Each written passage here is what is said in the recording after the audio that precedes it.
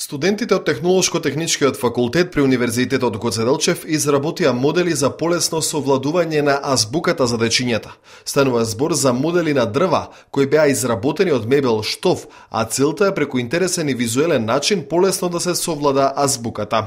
Благодарност најпрво до Домот на младите, бидејќи секојаш имаме поддршка од нив во однос на нашите активности, односно за проектите на нашите деца, на нашите студенти.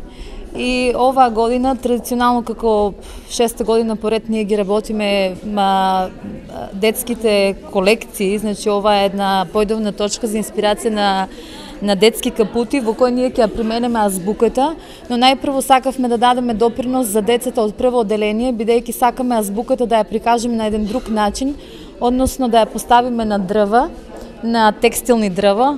Дрвата се изработени од мебел штоф, и овие активности на студентите ма, се со цел да се помогне на овие деца, значи да не биде само тоа таблата и толку, значи да можеме да им помогнеме и да дадеме допринос во образованието на најмалите, бидејќи тие се нашите идни генерации кои ќе треба да бидат активни заедно со нас.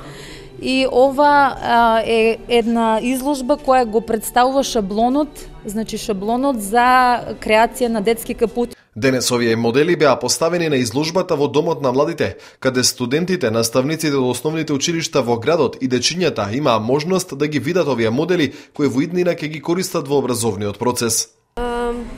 Како за почеток на, за нашиот предмет со професорката Вања успеавме да реализираме дрва од текстилен материјал кои представуваат почеток на еден нов живот кој се многу често се поврзува со развојот на децата од многу млади години.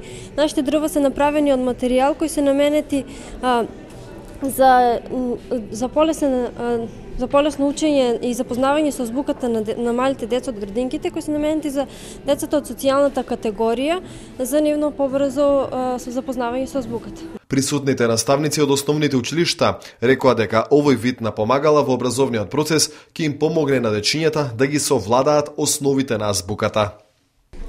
Овој начин на изработка на азбуката кај нас би најмногу помогнало значи во прво деление на прво на прво деленчињата на едноставен начин изработка од кој се на пример при користење на разни а, материјали, бидејќи ние работиме и по другите предмети а, по природни науки, по математика, по Кембридж, работиме со материјали. На едноставен начин би можеле со материјали да изработиме, на пример, азбуката. Училницата исто можеме да е убаво украсиме со материјали, со дрво, бидејќи ние а, стони и главната главната цел на полесен начин визуелно учениците да се запознаат со почетното, значи прво визуелно прифаќање на азбуката, а потоа и со пишувањето на азбуката. Доволно само ваше име презиме? Снежана Хилјадникова, оделенски наставник при основно училиште Тошар Штип.